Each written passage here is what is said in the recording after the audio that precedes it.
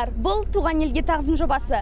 Бүгінгі біздің зерттеу нысанымыз қазақ даласының көне қалаларының бірі.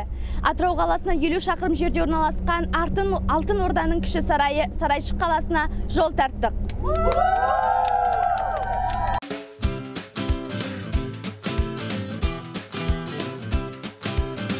Тарихы терең бойлаған сарайшық қаласына келіп жеттік. Ендеше зерттеуімізді бастаймыз.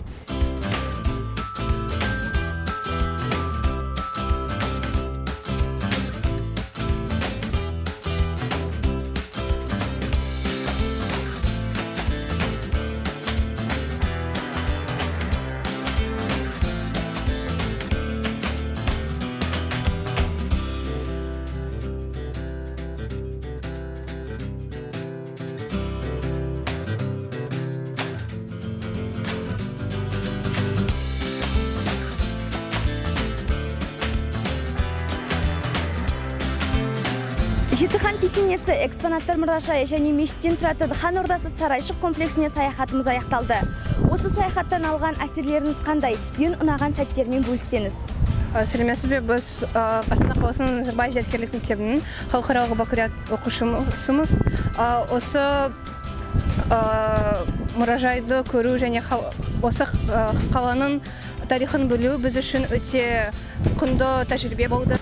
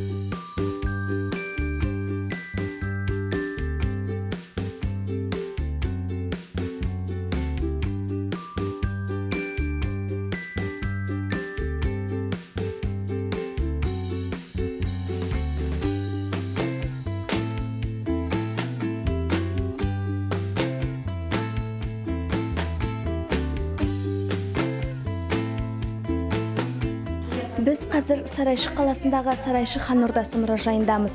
Мұражай қызметкерлері оқушыларға сарайшық қаласының көне тарихын 13 ғасырдан бері сақталған неше түрлі экспонаттарды таныстырып қызықты деректермен бөлісуде.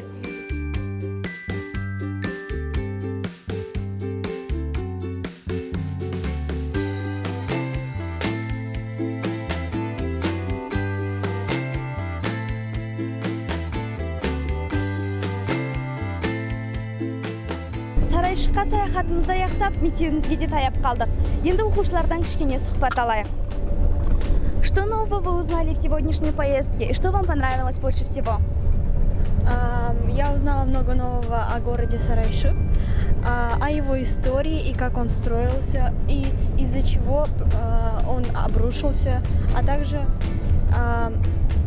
мы, уви... мы собственными глазами увидели много новых экспонатов, посуды и утвари в то время. Но больше всего мне понравилось дерево, расположенное рядом с музеем. Дерево, волшебное дерево, которое исполняет твои сокровенные желания.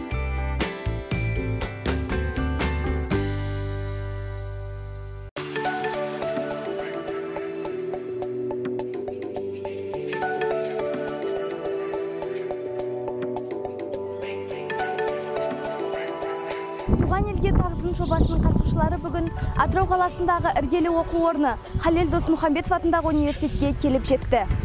Бүгін оқушылар әйгілі алаш қайраткерінің өмір жолымен танысатын болады.